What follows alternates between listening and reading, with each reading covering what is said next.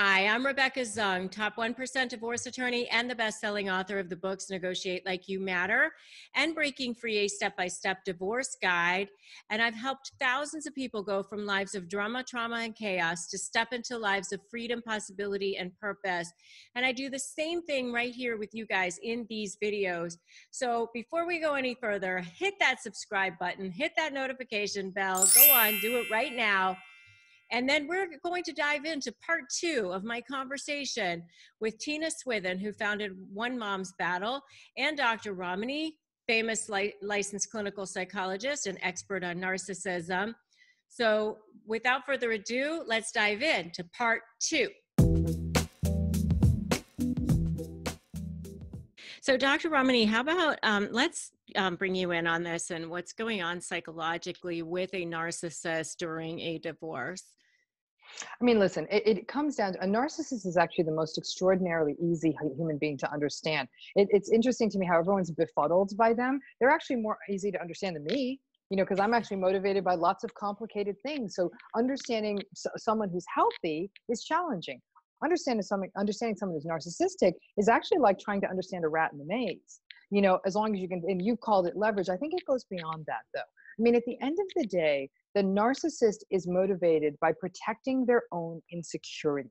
That's what it is for them. They feel chronically, strangely, we feel unsafe with them. Well, that's a projection. They chronically feel threatened by the world. They chronically feel unsafe. So, all of these defenses, the arrogance, the entitlement, the grandiosity, all of it is designed to protect their fragile egos. And in that quest, the best tool for that is narcissistic supply.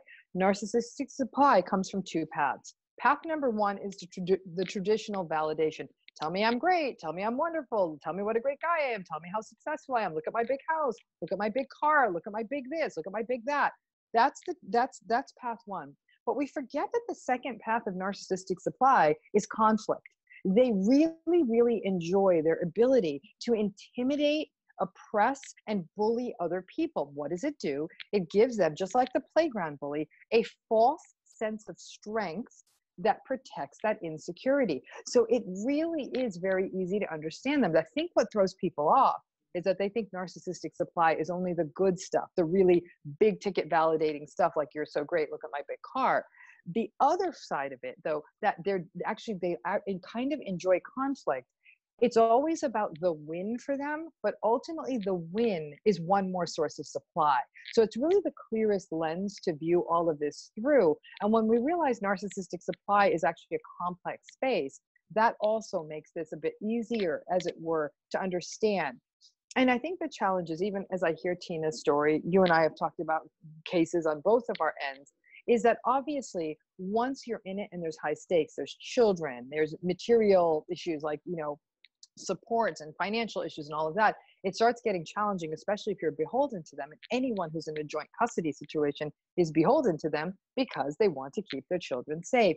And so, but that's really what the motivator is. I mean, it really is. They, they care very much about the what the world thinks of them. You know, again, why? Because they're insecure. Secure people, I don't care what anyone thinks of me. I mean, I don't think I've changed my sweatpants in three days. Like, I don't care. Now everybody knows, you know? It's it's the not caring and they care they care so desperately. So even while they're they're contemptuous of other people contemptuous of their relationships honestly they're contemptuous of them because it's a defense because they need their approval so much. So actually very easy to understand. Rats in a maze. That's it. Rats in a maze yeah, but then the way it manifests itself is just heinous, and especially it's absolutely heinous. As all insecure people, the most insecure people in our midst are often the most dangerous because yeah. they're going to do anything to protect their insecurity. So it is heinous, absolutely. Yeah, and especially in a divorce because they just have this incredible need for self-preservation and they're it's like they're mm-hmm. the fight of their life. I mean, they're mm-hmm. they're in this massive uh, survival mode but then mm-hmm. you know their target is also in survival mode because you know they know they're being they're under attack they're under siege and and and they're under siege in a way from this person mm-hmm. uh what and and this is what i always say the divorce paradox is which is during the worst most horrible and and uh, traumatic time of your life i mean if you look at any um, polls on what's the most traumatic thing that humans can deal with, it's always death and divorce are at the top. And mm-hmm. I think prison is in there somewhere, but it, prison's actually lower than divorce. like people would mm-hmm. rather be in prison than get a divorce. Um, but you know during the worst most traumatic time of your life you have to make the most critical decisions of your life mm-hmm. and so you're you're under siege and it's bad it's bad enough when you're divorcing normally but then when you're you add on the layer of divorcing a narcissist now you're you're you're trying to make decisions about your money your home your children all the things that mean the most to you your business you know potentially um, while you're under siege and while you're trying to heal yourself. I mean you know people who've been in um, narcissistic person uh, narcissistic relationships for long periods of time are like ptsd i mean they're they're seriously you know traumatized and and they're trying to make decisions. So you know for example this woman i spoke to this morning she wants to change her custody arrangement. Um, she said that you know when she entered into the custody agreement at the time she just she was so terrorized by him. She just wanted to get out of it. She just wanted to be done. Uh, and so she agreed to stuff that she didn't want, that she didn't, now she regrets, you know? So, what I'd like to hear from Tina is um, how did you keep your mindset strong? How were you able to keep going and keep and not give up and keep yourself healthy? You know, it it was a process. You know, the first few years, had I not been journaling and blogging about it, if I were to look back, I don't I remember very little of it. I feel like I was operating in a in a state of trauma and shock and emotions. Um, and for me, it was a few years into it before I started going to sit in the courtroom. And it was a way for me to learn about the process and you know how attorneys handle things and how you know different case law and i became a fixture in the courtroom on days that it had nothing to do with me. And just there as an observer because it allowed you know first for me to desensitize myself um, because it just became part of my every you know so then walking into the courtroom when it was my own case i was much stronger um, and I was educated on what was going on and, and the motions that I was filing. Um, and, and I didn't get it right all the time, but it, it helped tremendously and what i learned is that so much of it is about strategy and you you know judges and yeah. attorneys anybody in those courtrooms they don't want to see your emotions you know that was one of the things i learned quickly is i would walk to the bathroom in the courthouse and have a panic attack or vomit or break down crying. But when I walked through those doors, I had to, you know, put my shoulders back and my head up and, you know, almost role play was um, kind of the mentality I had to have. But you know, and just forming alliances when I would be in the courtroom and I would see another parent who I could, you know, identify as the healthy parent in the situation. I'd follow them out into the hallway and say, Here's my card. I'd love, sounds crazy. I'd love to go to coffee with you because we have a lot in common. And that started building my local team. Um, so, you know, those were some of the things that that I did in the beginning. And from day one, I remember people telling me, you, you know, this is a 50 50 state. California, I think every state is 50 50 at this. And that's, you know, truly what you just have to accept that. And I refused. I couldn't even you know grasp how somebody could you know some people it's truly you know their exes are so good at impression management that that may be in the cards for them and and then you you know you're forced to accept radical acceptance you know managing your expectations that whole whole thing. But for me i just i couldn't accept that that was what was best for my kids and that was the mentality i kept moving me forward and and really celebrating the little victories which i consider to be anytime my kids are a little bit safer. Um, and and that just kept the momentum going until I think it was about year six that we were assigned a custody evaluator, and he really understood what I was up against, and his um, his orders or his recommendation to the court were unlike anything I've ever heard of before. And it was so strict. And the judge ended up saying, I'm not going to adopt all of these because I don't want to micromanage this guy. But the ultimate ruling um, on year six was permanent supervised visits. So he could never again be alone. And the judge said, I intend for these to be final custody orders, which was huge. Um, but as we know, a narcissist can't handle that. Their ego doesn't want someone supervising them. That's a huge threat. And so he jumped ship and we didn't hear from him for a year and a half. Um, but that was a year and a half of peace. And I, you know, I yeah. was fantastic. So it's those baby steps. It's, you know what, today my kids are a little bit safer and, and that kept me going. And when I did, you know, there were so many times where I threw myself a huge pity party when I got slammed in court or and and I just always set an end time. You know, I I can allow myself a day or two to be mad or angry because it's warranted, but then uh, you know friday i'm going to dust myself off and i'm going to try again because my kids need me there's no one else that's going to fight for them Absolutely. I just want to inject a little bit of the legal side of what you, some of the things that you just said. Um, and one is that, yeah, there is a kind of unspoken presumption, I'll call it, for this 50 50 thing right now in most of the states. Um, I think there are a couple of holdouts. I think New York doesn't quite have that presumption yet.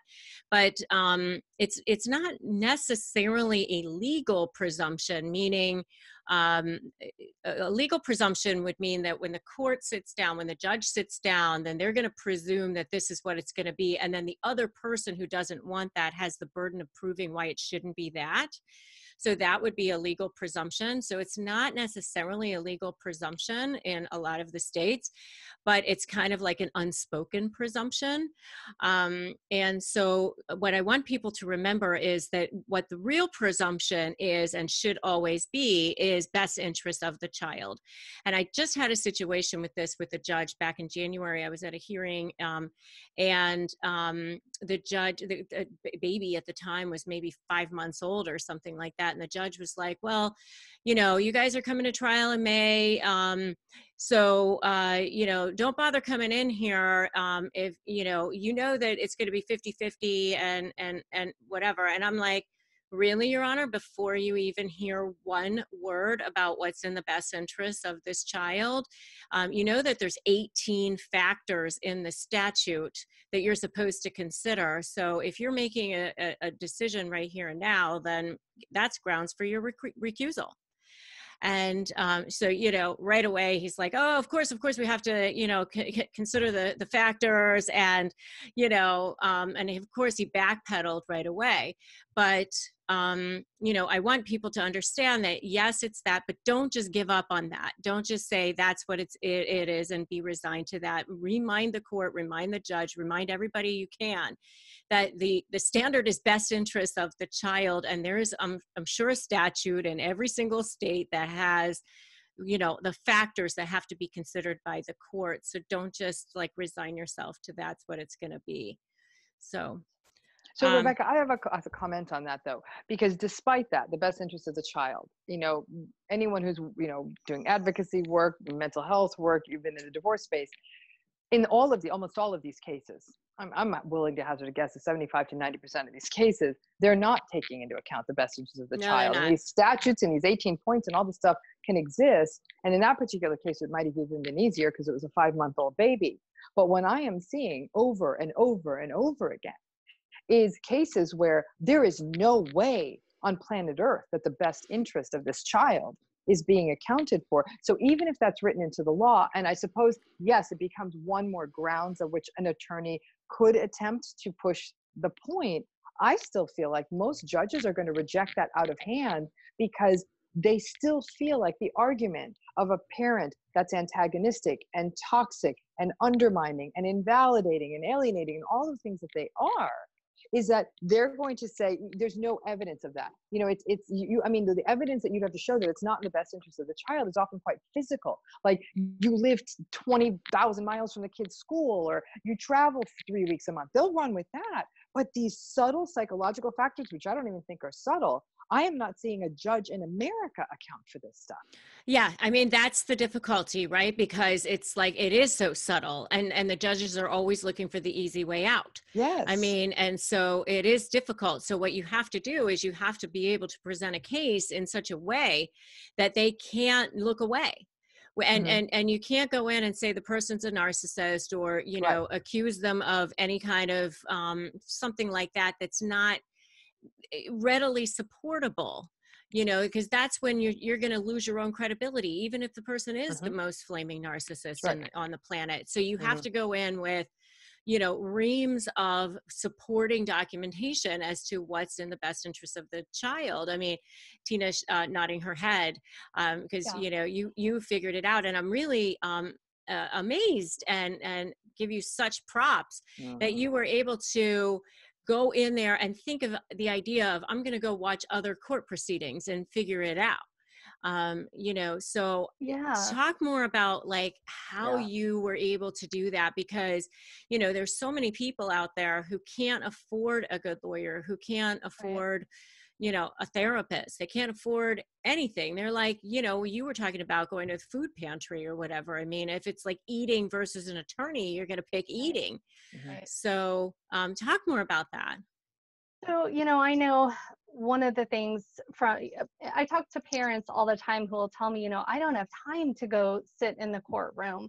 You know, I tell them you don't have time not to. Mm-hmm. Um, I was working full time. You know, one of the things I didn't mention, I when I left my marriage, um, you know, just so people don't you know, go, well, you know, she has all these resources or whatnot.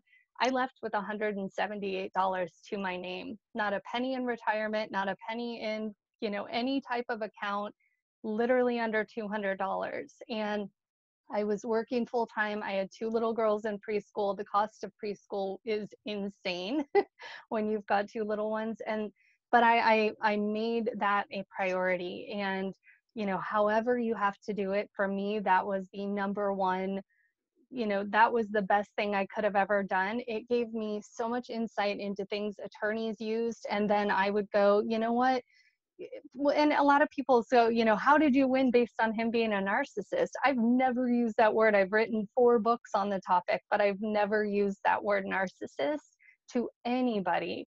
You know i focused on his patterns of behavior that exactly. were affecting my kids. Exactly. And you know and and paint you know seeing and and one thing i don't think people understand if i were in courtroom a I would present my case, my exact case, one way. But if I were in courtroom B, just based on what I know about that judge, I would present my case completely different because they're mm. human. They bring in their own biases and yeah, personal. You know, there's a judge down in Southern California who lost a child to a drug overdose. So she takes addiction issues mm-hmm. very seriously. My ex husband was an alcoholic. So you better believe that's, I would hit heavy on the alcoholism in her courtroom.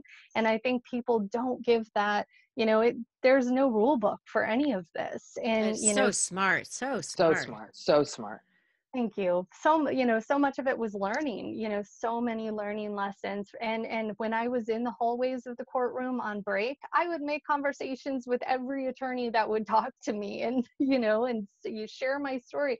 I couldn't afford their consults, but if they're bored sitting in the hallway, I would use mm. that as an opportunity to introduce myself, let them know. And so many were so helpful to me um, through this process. You know, just really forming those connections knowing who every single player is in your system every evaluator you need a, a, notebook of just family court professionals. Anytime you hear something about one of them or you witness an evaluator testifying in court or you know a minors counsel write down every detail about them so you can make an informed decision um, if it you know if you are going to be assigned an evaluator i think one of the things i was so naive about in the beginning i would you know i was desperate for someone to listen to me and so i would show up in court and i would beg you know appoint minors counsel appoint an evaluator. Somebody's got to see what's happening. And could i go if i could go back and do it all over again i would have said you know here are my three selections for an evaluator. I don't care which you anybody can choose from this list. That's what but I, I would yeah Mhm. exactly and then it gives the other side the power and control that they need to make that decision but like in my case the minors counsel who was appointed because i didn't know anything about him he turned out to be a bigger narcissist than Oh. than my ex-husband in a lot of ways and so it was a complete waste of time and energy and resources and so really entrenching yourself in your system and learning the ropes and the people you have to do it That's such great advice. Mhm. Really, really great advice. I, I, you know, as you were talking, I was wondering if one of the other things that you did, because um, if you did, this would be a great idea. Um, you know, if you know that there are particularly good lawyers or lawyers who understand, you know, what you're dealing with, um, you know, pleadings are actually um, public information. Um, so did you go to the clerk and read motions and and look at stuff that other lawyers had filed? so if i saw a case that closely represent or resembled my case i would take down their names and go find them because in our court you can we're pretty archaic we have like micro you have to get these little slides and you Oh, look at okay. all of the microfiche and so i would go pull people's cases and just sit there and go through their whole case from That's what I was wondering. finish. Yeah, yeah, yeah. That's exactly Yeah. what I was wondering that you did. Yeah. So that's so smart. Really, really smart. But of course, very time consuming. Right. Mhm. yeah So, um, so Dr. Ramani, what would be, you know, ways that people can kind of self care and cope Mhm. during this process?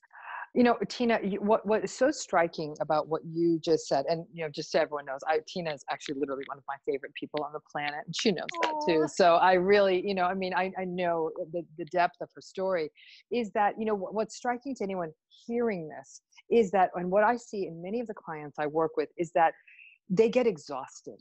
They go to a place of full on helplessness, hopelessness, and powerlessness, which are often some of the last stops on the train before, before full blown major depression and anxiety disorders and all of that, like really major psychological and psychiatric, you know, fallout from this.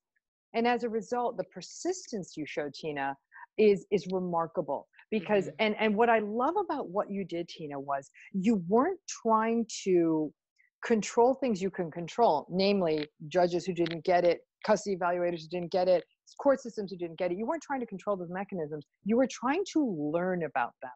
And of all the guidance I've ever heard, because you feel so powerless, give yourself the time to learn. Look up the cases, learn what happened in those cases, learn about the judges. I mean, I think that that, that anytime we can give a person a sense of control, that's something they can actually do, is really, really important.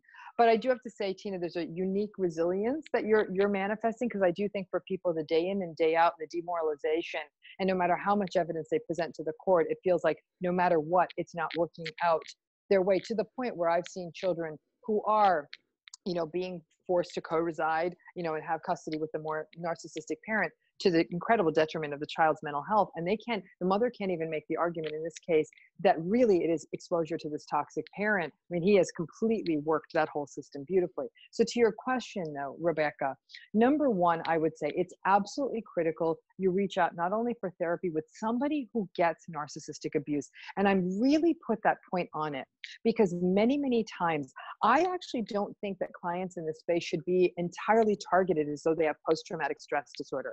I think PTSD is a very different kind of phenomenology. And while addressing early traumas and all of that may be an issue, I think that there's something rather unique about the narcissistic abuse space because it moves pretty quickly when a person gets lots of education.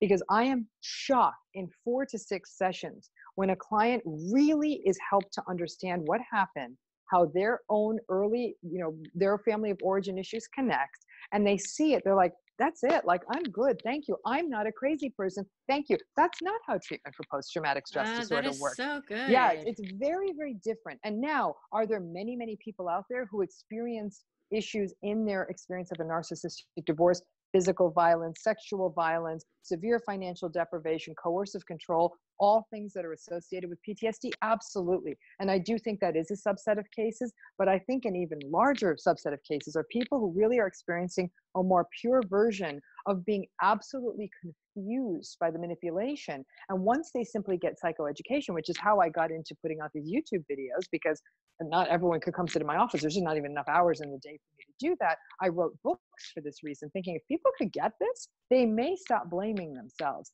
So it becomes therapy with someone who gets it. Number two, is also accessing the advocacy community. That is something Tina opened me up to, is that there are people like Tina out there who get it and put resources out in a way from a lived experience perspective. Her Facebook page is a robust resource that I refer all of my clients going through this to and to her website so those services exist you know basically a support group mechanism of people who get it but then beyond that I really, really do tell people is that you are not defined by this experience. I actually think that survivors of narcissistic abuse who really then take this as a jumping off point to the degree we're talking about it being a trauma, what I really do see is tremendous post traumatic growth. People saying, I can see these people coming from a mile away. I am actually going to be a lot more careful in my relationships. I am getting rid of the people in my life who are not good for me. They actually do a whole like clean out, like a toxic dump it's they, they just so they knock everyone out because they're like, I'm not doing this anymore. And they realize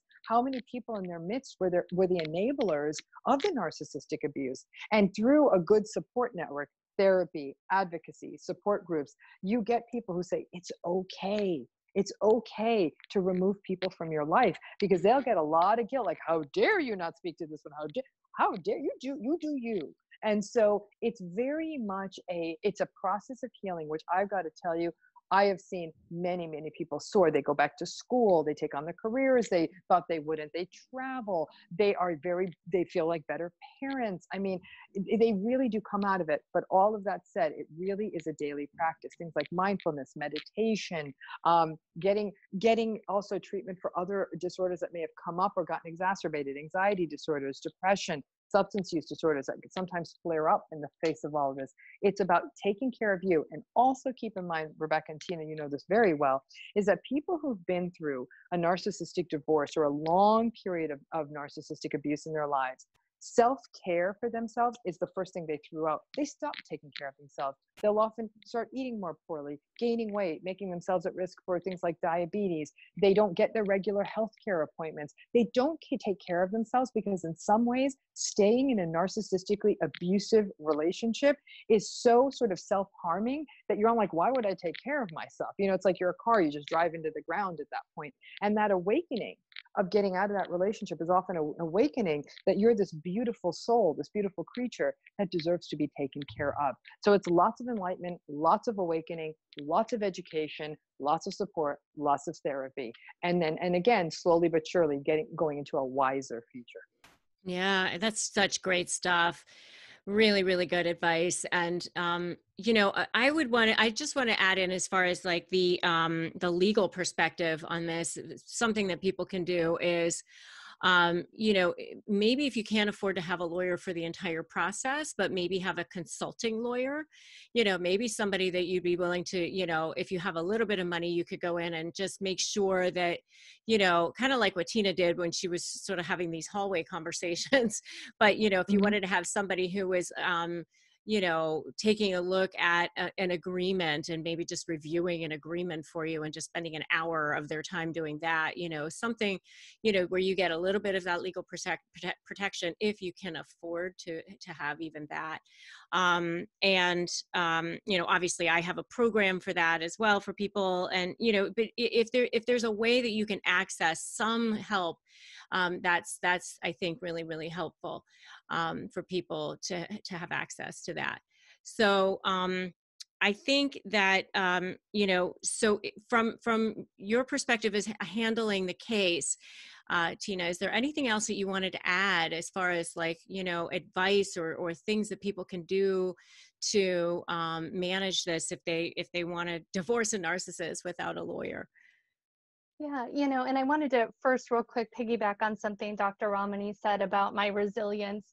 Um, you know, I, I want to say for anybody who's kind of questioning their own resilience, there were definitely times where I crumbled. You know, if you, I pride myself on my documentation and how I went about presenting my case. But if you look at my documentation, there could be a six month chunk of time where I didn't document anything. And that's not because there weren't things going on. It was literally because I had to press pause and put on my own oxygen mask and you know just take a break from it. Oh, because, I love the way you put that. That's a great way to put it.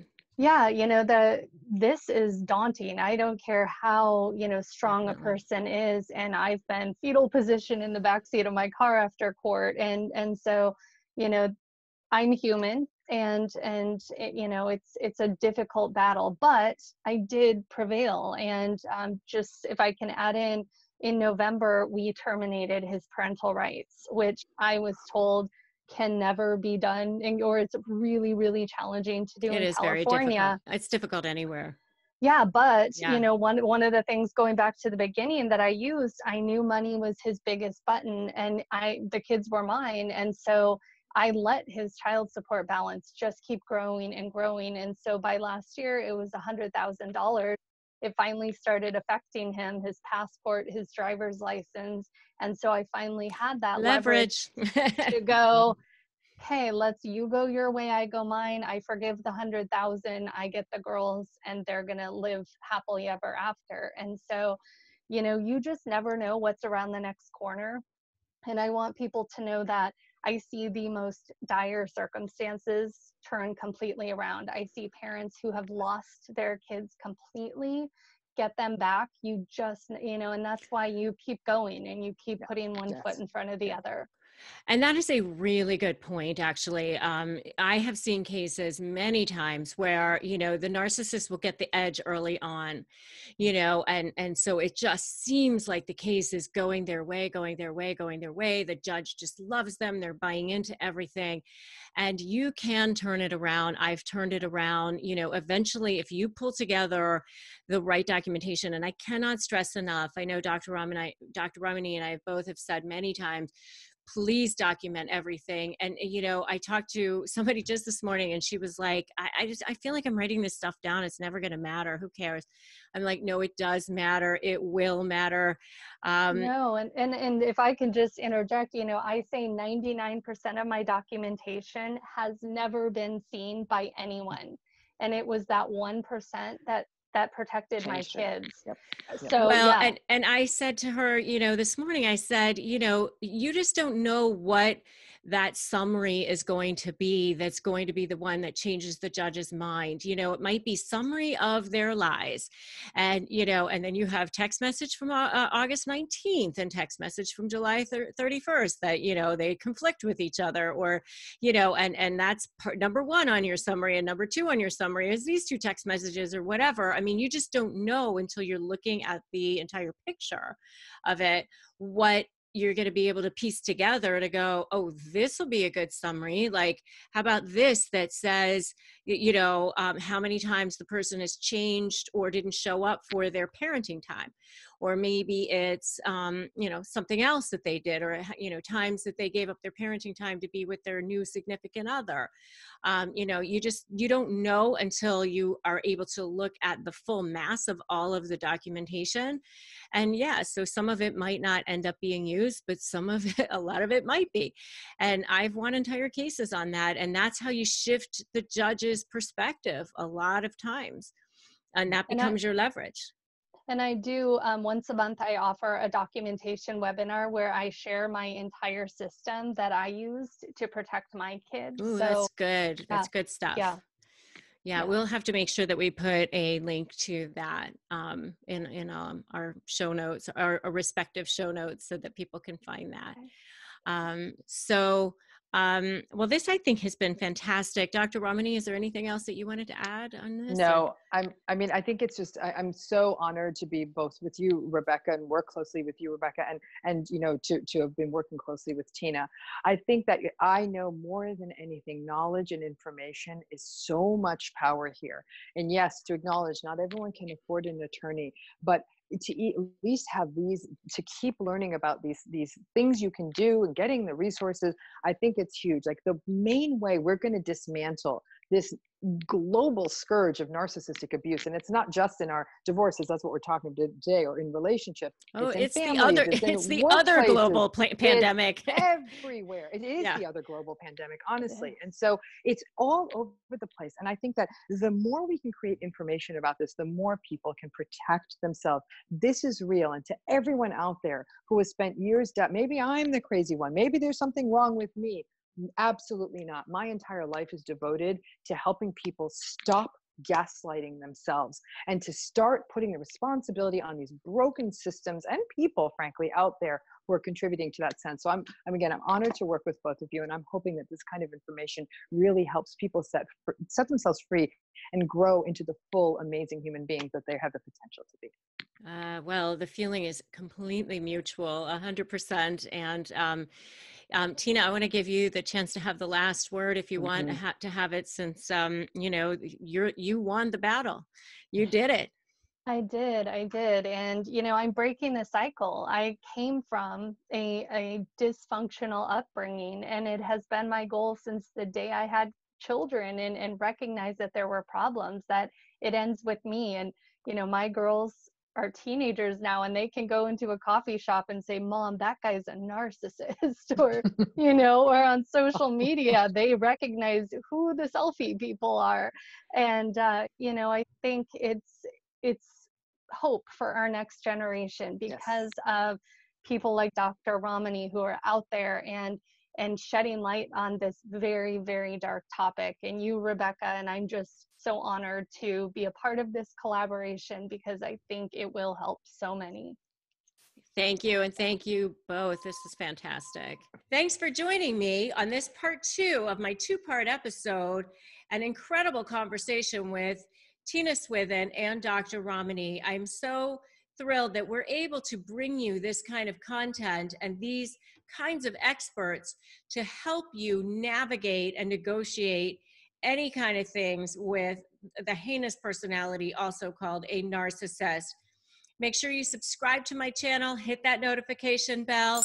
And if you like this video, give it a like, give it a share, drop me a comment, let me know that you were here.